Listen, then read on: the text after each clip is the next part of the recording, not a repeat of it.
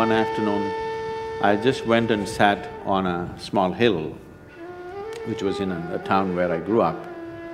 Till that moment, I always thought, this is me and that's somebody else. I had no issue with that somebody else, but that is somebody, this is me. For the first time, I did not know which is me and which is not me. What was me was just spread all over the place. I thought this madness lasted for five, ten minutes, but when I came back to my normal ways of being, four and a half hours had passed. I'm sitting right there, fully conscious, eyes open. I sat there around three o'clock in the afternoon, it's seven thirty in the evening, sun has set, and I thought it's only ten minutes, but four and a half hours had passed. For the first time in my adult life, tears were flowing to a point where my shirt is completely wet. Me and tears were impossible, I'm like this. I've always been happy, that's never been an issue for me. I was successful with what I was doing, I was young and no problems. I was fine. But I'm bursting with another kind of ecstasy which is indescribable. Every cell in my body is just bursting with ecstasy. I had no words. When I shook my head and tried to ask my skeptical mind, okay, what's happening to me? The only thing that my mind could tell me was, maybe you're going off your rocker. I didn't care what it was, but I didn't want to lose it because this is the most beautiful thing that I, that I had ever touched and I had never imagined that a human being could ever feel like this within himself. So when I went to my closest friends and said, see, something is happening to me like this, as I'm talking, tears would flow, and people would say, did you drink something? Did you pop something? What did you do?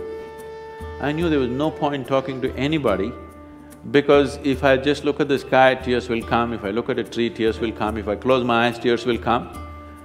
I'm just bursting. In six weeks' time, everything about me changed so dramatically. And I just lost the sense of time. The next time this happened was very significant because there were people around me. I went and sat with my family at the dinner table.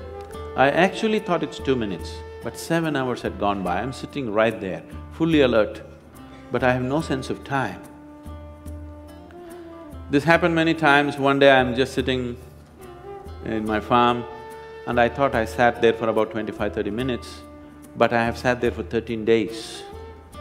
By then a crowd has gathered, India being what it is, there are huge garlands all around me, somebody is asking how to run his business, somebody wants to know when his daughters will get married. All the nonsense I hated just happening around me. And I actually thought it's only 25, 30 minutes, but these people saying thirteen days, he's sitting, he's in samadhi, he's this, that. I had not even heard these words.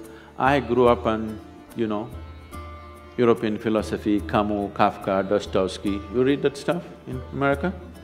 Huh? And being sixties, you know, Beatles and this and that, I grew up like that. Me and spirituality are another world, there's no chance of me going there. So I had none of these vocabulary, samadhi, this, that stuff in me.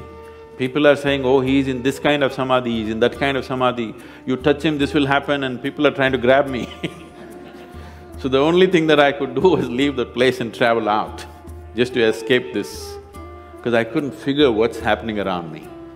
Why I'm telling you this story is, this is possible for every human being. It's my wish and my blessing. This must happen to you. Whether you climb Mount Everest or not, whether you become the richest man on this planet or not, your experience of life on this planet should be pleasant. You must live blissfully and go. That must happen to every human being. Everybody deserves it and everybody is capable of it.